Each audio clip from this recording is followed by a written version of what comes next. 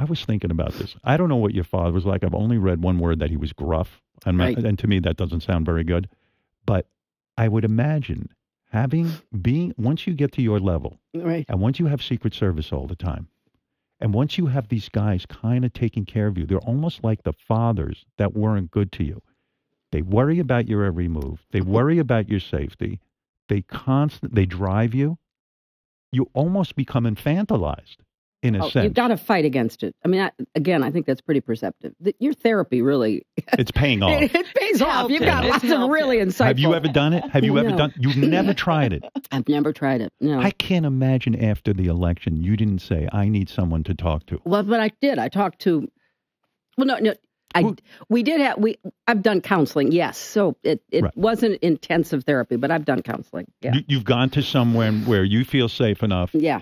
So it wasn't a psychotherapist. No, but no. it was an MD, no. A psychologist. psychologist. Psychologist. Yeah. I would think you would go to an MD. Mm, no, because this was this was in the late '90s when there was lots going on in my Oh, life, as you remember. Yeah. Um, and so yeah, so we did have somebody come in, and it was more marriage counseling. Oh, but you never did individual therapy. No. Mm-mm. So, so who do you talk to after the? I read a really sweet moment after this horror of a night. You and and your husband lay down at night. You're laying on your back. He's laying on his back, and he takes your hand and Yeah. holds your hand. Right. Yeah. Uh, That's That's a. Oh, you're gonna make me cry. I know. It's Yeah. it, it's the most sweet well, you know, gesture. and what else can you do? A, yeah, he he's he's been a terrific um, you know support, and I I also have great friends. I have wonderful friends. I lost two friends and my brother this year, and it's the holidays are hard this year because I miss all three of them so much, and they died in May, June, and July. So it was like, bang, Oh. bang, Wait, who bang. died? Your brother died. I know so that. my brother died. Your uh, younger in brother. June. He's my one of my two younger brothers. Yeah, my Right. youngest. A really, really close friend of mine died in May. who was that? A name, a woman named Ellen Tauscher. Right. She was a congresswoman from California. She was also the undersecretary for arms control in the State Department when I was there as Secretary of State. Negotiated the New START agreement with the Russians. Just an amazing woman. And then my and you would call her, and she would talk. She'd come to, visit me. She came and visited me a lot. And then my best friend from sixth grade, who had been fighting breast cancer for 10 years, but never let it interfere with her incredible love and compassion for all of her friends, plus obviously her wonderful family. Finally, she ran out of things to help her stay alive, and she died at the end of July. So, you know, I I have Isn't had. this age a bitch? oh my God! like Howard. you're watching people. Do you think about death? Not, I don't think about it. I, I think, I mean, I think about it because, as you just said, I'm losing people that I care a lot about because many others have died too. But those three were particularly hard. Are you deeply religious? I am. Yeah. I have, well, I have a, I have a deep faith. Yeah. Methodist. Methodist. Yeah. That's important to you. It is important to me. You believe there's a God and that we're going to go Somewhere. somewhere? Somewhere. Yeah, I do. I believe that, and I believe that it won't happen in my lifetime, yours, and won't happen for a long time. I think that the, we're learning more and more about what holds the universe together. I mean, dark matter makes up most of the universe. We really don't quite know what it is, but it's energy. And if you believe in, see, I think I think religious beliefs and science are compatible, unlike those who reject one or the other. And so I think that energy doesn't die. Energy keeps going. Oh, that's comforting. I got a feeling I'm going to just be in the ground, but who knows? But this, this, well, your this, body will be probably. this, this, Yeah. this gesture by your husband to just sit and hold your hand. Yeah. It's an important moment Right. Because there's nothing to say after Mm-mm. you after you've worked your ass off your whole life to get to this presidency. hmm And and and was that the dream when you were a little girl that you would someday be the president of the United States? Not at all. was it to be a lawyer? No. When did that come around? When I was in college. And yeah. the father, I, I, I ask you this because what does it mean when you say your father is gruff? My my father um, was a, I guess, typical man of his time. You know, he was um, lived through the Depression. He was a chief petty officer in the Navy during World War II.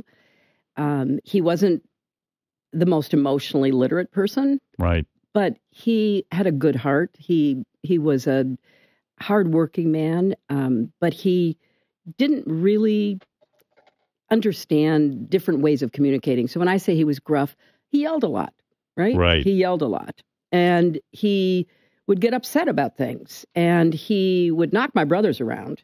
Mm. Uh, not me, but my brothers.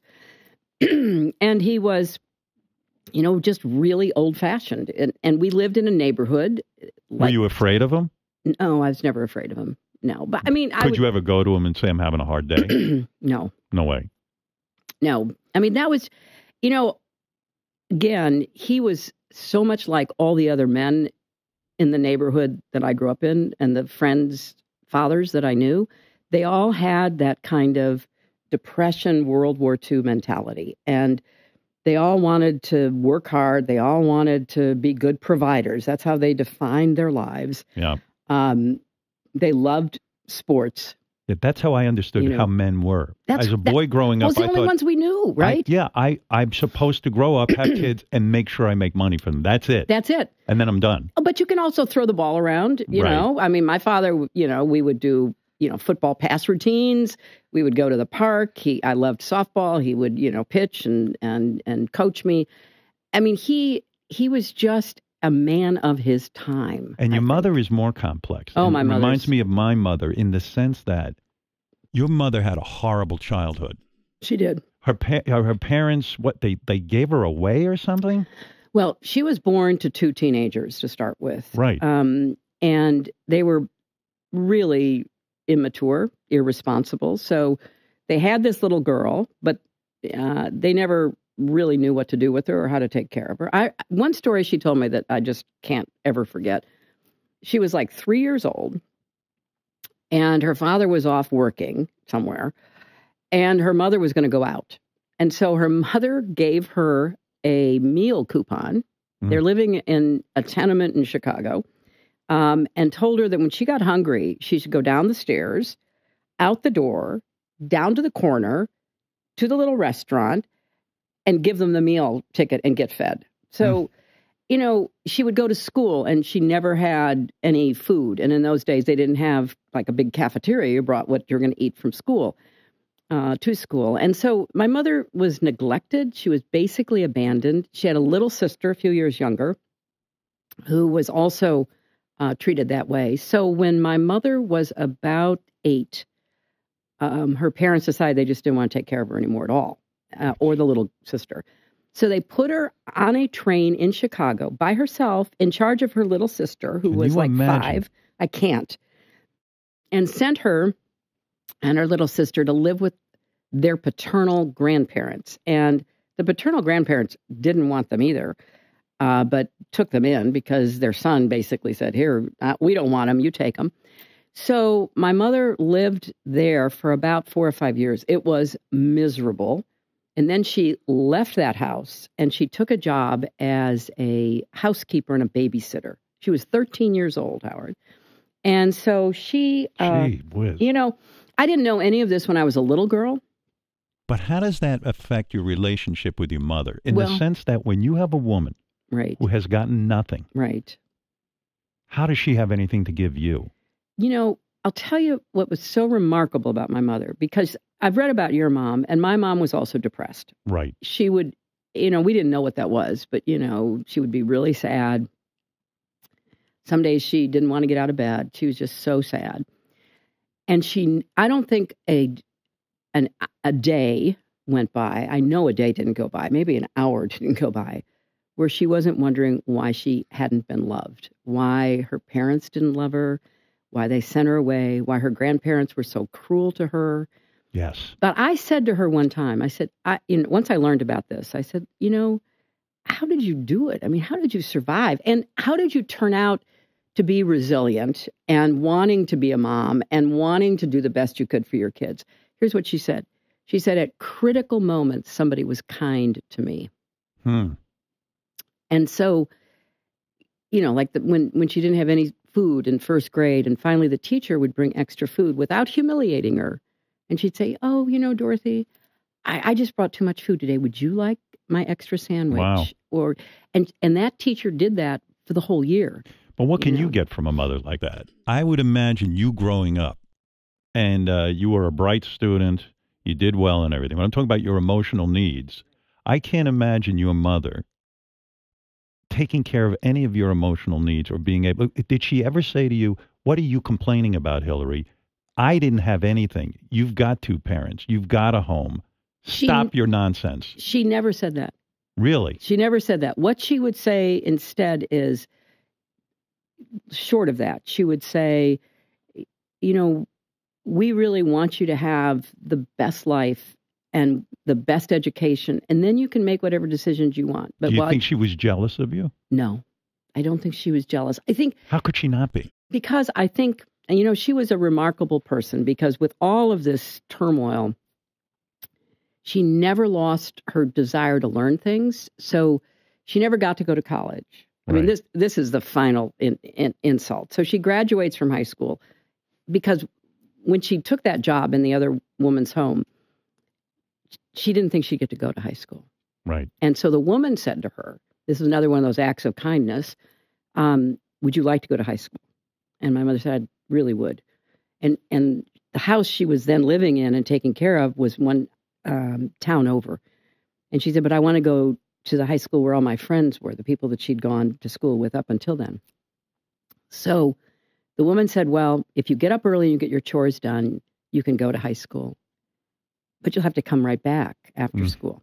Gee whiz. Now that sounds harsh if you're a 13 year old. To my mother, it was a gift. right. So she'd get up at the crack of dawn, she'd get the kids ready, whatever she had to do, and then she would run to high school, and then she would run back afterwards. She had, she had, um, you know, talk about clothes. She had two blouses. Um, But she was like a skirt. slave. No, I mean, she was like a. a, she didn't feel that. She she didn't. this I mean, I'll tell you what she said to me. It was the first house she'd ever been in where the husband and the wife loved each other, Right. treated each other right, loved the children, cared about them, set standards for them. My mother said, I learned how to be a wife and a mother from living in that house for oh, four wow. years. Yeah. So she gets out of high school, and you know, California had this great higher education system, and she could have gone for practically nothing. Her mother, her biological mother, contacts her and says, Oh, I've heard you graduated from high school. I'm remarried. Would you like to come to Chicago? And my new husband and I will send you to college. Hmm. So for my mother, it was like, Oh, wow, maybe my mother does care about me. So she leaves California. She goes to Chicago, and they wouldn't send her to college. They wanted her to keep house for them. Holy mackerel. Yeah, I mean, you can't. I mean, it the- gets worse. it gets worse. So, but my mother, you know, it it emotionally it was devastating to her, but she was smart enough. She was really smart. She was smart enough that she and she read psychology like it was going out of style. Every book she could read about how children were formed, what development meant, she read. So she had an intellectual. I'm not saying it affect. I'm not saying that it did away but with she had the hurt. intellectual understanding Yes. of raising children. Yes, and and Wow. and worked at it, and and was a terrifically supportive, uh, loving mother. Were you always brilliant in school? Because uh, I mean, to go to Yale and to go to um, um, where'd you do your undergrad? Uh, Wellesley. Wellesley. Yeah.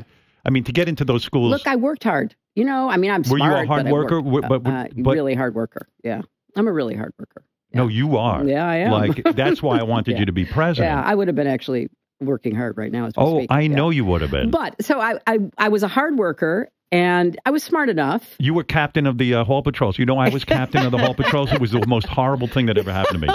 Unlike you, you got elected, right? Uh, yeah, I think I did. I was appointed, and it was a nightmare. I got beaten up by everybody because of that. Did, did you wear the, the belt? The and belt, yeah, the, the, the white. It was white a white belt. belt. went around your waist and then and up cap- over your and chest. captain badge. Right, and the badge. Oh, Yeah, my yeah. God. And then you'd stand at the corner, you'd supervise everybody, helping oh, the yeah. little Oh, kids but- go but across the street. I was in a very rough neighborhood, and I and the kids would go, "You're captain of the Hall Patrols," and then they would beat me up to prove they, that they could beat up the police, which yeah, of was course. essentially was, what they I were was. practicing on you. Oh, I, I just wanted to give that badge and throw it down the river. It was just a nightmare. But when you when you get into uh, Wellesley, Right, I mean, you right. gotta you've got to have high academics, and you have to have high SATs, yeah, right? yeah, I mean, all of that. Right. Did you ever yeah. have your IQ tested? Not that I know of. I, I don't know. So you but I will tell you this. So when I got to Wellesley, and, Yeah. and really, I went to Wellesley because I had a teacher who had gone to Wellesley, and she Right. kind of persuaded me. I didn't know what I was going to do, and you know, I, I my mother never went to college. My father went to Penn State on a football scholarship. So what did you know? Oh, no kidding. Oh yeah, Oh, yeah. He wow. played football for the Nittany Lions between 1931 and 1935. Oh, this must have been a tough guy, your Oh, father. my! I'm telling you, he was. oh you my, know, um, military guy, yeah. He- football and guy. He, he played football and he boxed. Yeah. Oh, really? Oh yeah. Did And you he- ever see him beat someone up? No, I never did see that. Except for your brothers. yeah, except for my poor brothers. Yeah, Great. when they were, you know, causing him trouble. Would your mother step in when uh, he would oh, be? sure. She Yeah, would. he would just get so mad at them because my brothers were very mischievous. They He- were but he never hit your mother. no, never. You sure? Yeah, positive, positive, hundred percent positive. Yeah. right, I'll go back and check. Uh, so, so, so, so, so when you go to Wellesley, that's where Yeah. you get the idea to be a lawyer. Well, when I got there, I thought I was really out of place because it seemed to me like everybody else was smarter, and so Is it all girls? all girls. And the reason I went to a huge high school, huge co-ed high school. Right. Yeah, enormous, like 4,500, 5,000. Boyfriends, kids. yes or no in high school? Boyfriends, yes. Yes. Yes. Serious boyfriend? No, No one you ever said, I'm in love. no, You had not been in love yet. no, Bill was the first guy you loved. no, no. There was No? no. There was somebody before him. Yeah. Somebody before Bill that you would have considered marrying, Uh, no, I But- would not have considered marrying, but in love. but in love. But I loved him. Yeah, I We never him. hear about this guy. Oh, is this guy probably pissed he didn't uh, No. close the deal, We right? should have locked that down. No, Right? no, no, no, He- no, no. He would Yeah. have been at look, Oklahoma I- last I, night. I mean, I dated a lot of different people, and Right. I I liked a lot of them. you were popular. Was pretty popular. Right, Yeah, I was okay popular. right, right, Yeah, right. yeah, yeah. Boys were not your problem. boys were not my problem. But I, I never, I, I had not until I met Bill, met anybody that I thought I would ever marry. You were not the cheerleader type, though. No. You were the studious academic. I was the student and student government, you know, that kind of stuff. Yeah. No kidding. Yeah. So you must have somewhere in the back of your mind figured, hey, No, I like, I'll, I'll tell you another story. So, I were you run- the type that would promise people free lunches and uh, and, and, and, and more study hall? Or I Yeah, no, ju- yeah, no, just great, you know, Right. great homecoming parties. I mean, you know, Right. that kind of thing. Well, and so for that. I, I remember I did run, I, I think, I, yeah, I did run for president of my high school government, as I remember. Did you win? No, of course not. Did some guy Of who? uh, course, and I won. And then, you know, and and and it was sort of foreordained because a lot of my, you know, boyfriends they said, you know, come on, we're not going to elect a girl. I mean, what are you doing this for? I said, well, because you guys, I- I have some ideas what I want to do. Okay, fine. He Right. so somebody else wins. Comes to see me and he goes, you know, I would really like it if you'd help me. And I said, oh, yeah. So I said, sure. oh, you were really nice. I was nice. And I would've said, like, I you like know- doing things. What can I say? Right? Listen, I was surprised when even when Obama tapped you to be Secretary of State. so was I, Howard. I didn't. Th- you know why? You know why I thought it was difficult Wow. Because you were fully ready to be the president of the United States. Right. If right. I was you, would I want to be sitting with Obama? And in the back of my mind, I'm saying, I can be doing this. Well, I don't. I mean, not that Secretary of State is shabby. No, but that's the difference between running against somebody who you respect. Right. So he gets elected. He asked me to come see him. He asked me to be Secretary of State. And he basically said, Look, we're in a mess. That's right. The economy has gone totally down. We have problems around the world. He said, I need your help. I can't do both. I'm going to focus on the economy because we're in terrible shape. Isn't that great? But I need you to go travel around and try to restore our relationships. That's an executive. And that's why I was honored to serve with him because, first of all, he is secure. Right. Not threatened by you being Secretary of State. At all. And also, you know, we did run a really close race. We had overlapped in the Senate for a few years, but we ran a really close race and it was touch and go. People forget this. I actually got a few more votes than he did, Yes. but he got a few more delegates than I did. And But here's the thing. You Here you, know? were. You were already a senator. You Yeah. had been a first lady, and you weren't the first lady who sat there and made tea. You were the first lady. but I remember Hillary Care. yes, That right. you were really into Right. getting some kind of uh, protection for children, Right. and of course you were vilified for that. I was. but but but it's crazy to me. You had all this experience, Right. and then this uh, upstart, a new senator comes yeah, but, into town. but but you know there he had enormous talent. It's sort of like oh, it's, uh, you know it, you- your husband and and and and, and Barack two Obama. Be- the two best orators. Unbelievable, both of them. And Right. and and they they just had whatever that magical charisma was. It wasn't phony entertainment. It was deep, positive security, integrity. I know what I can do for this country. Give me a chance. Very adult. Very, Very but, adult. But, but that's a rare gift, It is. right? a- It is. I mean, you Yeah. used to get stuff. Oh, your voice isn't right. Your your hair isn't right. You don't know that. how to speak properly. Blah blah Yeah, blah blah yeah, blah blah yeah. blah. yeah. Uh, you know, and and so you know, did you ever sit there and say to Bill, "How the hell are you connecting like this?" Like when you would watch him. I mean, it is quite a remarkable skill. It is a truly remarkable skill. Both he and problem. Barack have it. Yes, but the Yeah. campaign seems to rely on that, and that's not. Re- well, I'm looking for a good executive to run the country. Well, I think you know. Look, I, you got to get both in the same package. I Right. mean, obviously, I think both of them were really good presidents and had to clean up a lot of messes, both of them, and and left the country stronger than when they found it, which should be the criterion. Are you friendly with Elizabeth Warren at all? I sure, yeah, You like her? yeah, sure, yeah. I I, realize I think you two have something in common. Listen Hmm. to this. okay, I'm watching something with her on TV. right, right. Sitting there with her husband.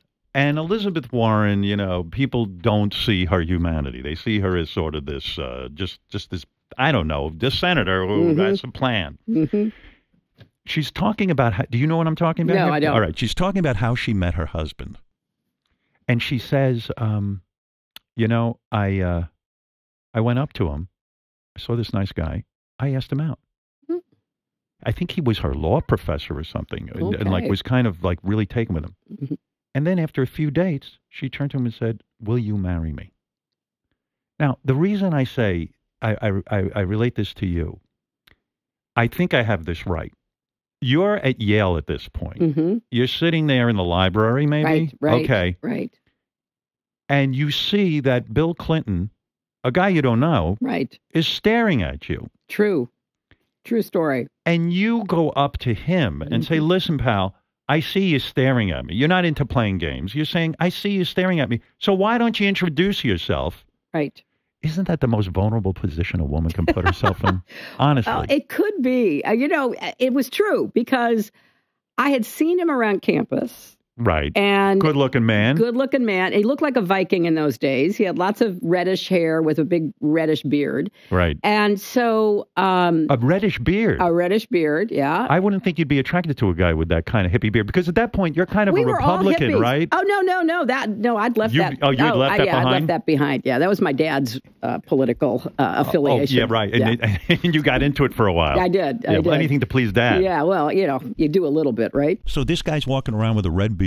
Yeah, and red beard. Uh, and hippies, right? You're wearing the Right. costume of the day. yeah, bell bottoms, the whole deal. The whole thing, Yeah. work shirt. hmm Yeah, you we, got it. We all thought we were revolutionary, yet we're all wearing the We're in same, the same outfit. outfit. We're like following Chairman Mao, right? It's very because, true. Because we thought we were being outrageous, Well, we were compared to where we had come from. I guess. You know, I mean, it, everybody rebels against the past, I guess. Well, I used to wear that to school every day, and, Yeah. and someone said to me, a, a grown man came up to me and he said, "You know, you all think, all you hippies think you're so cool." He goes, "But you're all just followers. You all wear the same exact True, thing." true. And Yeah. it, and I went, "Yeah, you're right." You're right. and You're I right. don't want to stick out. so when you see Bill, you Yeah. are able to go up to him and say this. Yeah, And I his- said, I said, if, if you're going to keep staring at me and I'm going to keep staring back, we ought at least to know each other's names. I'm Hillary Rodham. Who are you? So that's how I met him. Wow. That's how I met him. Were you nervous doing that? No, Mm-mm. Oh my God. that's- no. I would never No. have the guts to even walk up to a woman. so the fact that you could do that, but Yeah. it is a vulnerable position because he could have said to you, "Oh, I'm not staring at you. Get lost." yeah, he could have. Right. He could have Because he could have been ashamed and, and then, I, embarrassed. and then I would have known right then he wasn't worth the time. And he's brilliant because Yeah. he's at Yale Law. Right, right? right, right. And, and he's not a Rhodes Scholar yet. Oh no, he was. Oh, He'd he was already. He graduated from Georgetown a year before I graduated from college, and then he was a Rhodes Scholar at Oxford, and then he came to Yale. So I'd been at Yale for a year. How do you get to be a Rhodes Scholar? I mean, that sounds like a very cool thing. It's What- a really cool thing. I think you have to be uh, nominated by your college or university, and then you have to go through these rigorous uh, interviews. I see. And so, and and then he asks you out on a formal date. No, then so then we know. I love a romance. Yeah. Okay. So so then it turns out he'd never been there, but we were actually in the same class. Oh, So- and why wasn't he going to class? because he was working on a political campaign to elect somebody to something in Connecticut. You know, Boy, politics was his first and foremost love. You had to be with a go-getter. I mean, you were a hard worker. You Hundred needed. percent. Well, also, you know, it was like it, it it well, it was just sort of magical and and and electric, magnetic. Um, Do so you need? Did you need to be with a guy who was into politics at that No, point? You just needed to be maybe with another lawyer. no, no, I did somebody who I thought was really smart with a good heart. I mean, that's what I was looking for. and also had ambition. Oh, had to have ambition. Yeah. Absolutely. But by definition, if you've gotten to Yale Law School, you've got some kind of ambition to Uh, do something, right? Do you get job offers like crazy when you go to Yale Law School? Is because Yeah. I know a guy who ha- who went to Yale Law School. He uh, he was a freshman would start getting Yeah, you, you get a lot. Yeah, yeah. There's a lot of recruiting done. Was your family looking at you as like a meal ticket in any way? I think, um, you know, my father was a big saver. You know, my Mhm. father never had a credit card. Right. We never had a mortgage on our house. I mean, he paid, I don't know, $30,000 for our house in 1951 or something. Right. So he saved and saved. And uh, so I don't think he ever thought that. But um, after he died, um, and my mother did have, you know, enough money from him saved up, um, you know, we just naturally all took care of her. So I'm just wondering when when, when you get a kid who's Yeah. going to Yale Law School, you go, oh, ka-ching, this well, if you gonna- need it, right? Right, yeah. you've got, you've Hey, got we let's bank on her. This is an insurance policy. You're not kidding. But uh, and I would imagine too, th- and maybe you too were thinking, hey, when I get out of Yale Law, I'm going to have some kick-ass job. But then you marry Bill and you go off to Arkansas. But People that's not probably- how. That's not exactly how it unfolded. Okay, so, let's okay. get back to the romance. So get back to the romance yeah, part. Right. Um, so anyway, the last day of this class, um, he shows up in the class, Oh. and uh, Looking for you. apparently, yeah. Right. And so we're walking out, and he said, "Where are you going?" And I said, "Well, I'm going to register for classes for next year." And he goes, "Oh, I'll go too." So we walk. You know, those are the old days when you know you actually had to use pencil and paper to register for things. Right. And so I stand in line. I get up to the registrar. We're, Bill and I are talking, our first real conversation. And uh, the registrar looks at me. He goes, "Bill, what are you doing here? You registered this morning." And so I knew that this was all about you know getting to know me. Right. Then we went on about a a, a five hour date where we took a walk. We went all across New Haven. We got to the New Haven. I mean, he formally asked you out No, no, we're just like, where are you going? Like, no, this was not like a form. This was like, okay, I finished registering. because it's hippie days. It's hippie days, right? right? So we get to the Yale Art Museum and they have a Mark Rothko exhibit. And I said, Oh, I didn't, I, I, I missed that. I, I wish I'd seen it because the museum was closed because it was on strike. Right. And, or part, part of the whole university was on strike, as I remember. So Bill said, "Why you really like Rothko?" I said, "Yeah, I really, I really like him. I've never seen his stuff in person, but I've seen, you know, photographs." He goes, "Well, stay here just a minute." So he goes off. This Mm. guy I've just met. He comes back, and he has a gentleman with him. He introduces me to this gentleman. He goes, "This is, you know, John the janitor." And John the janitor said he'll let us in if we pick up all the trash on the lawn. Oh my I said, God! what an it." operator so this we guy is. pick up the trash. yeah. And then we get to go in and see the Rothkos, and then we end up in the sculpture garden. Do you know this reminds me of a John Hughes movie? Dude, it, it, I'm not kidding. It was like uh, the, the the guy takes the girl on the date and he gets her into the museum because he knows the janitor after the after hours. yeah, that- I swear I don't remember the name of the movie. yeah, no, I know what you're talking about, but I mean, here we are. So See, this is a guy Yeah. who is a born people person. he's a totally, totally. Per- the janitor didn't know me at college. No, one knew me at college. No, but I mean, Bill literally knew everybody who worked at Yale. uh, Just he, about. he loves people. He loves, and you know what he says, which is so important. He says everybody has a story, and everybody deserves to have their story told. He was some president. Yeah, he was a great. See, that's also Yeah. another reason. I felt it was a bonus. If you got to be president, I get you and Bill together working as a team. I'm like, I get two for one. Yeah, yeah. Why not? Why not? Why not? Yeah.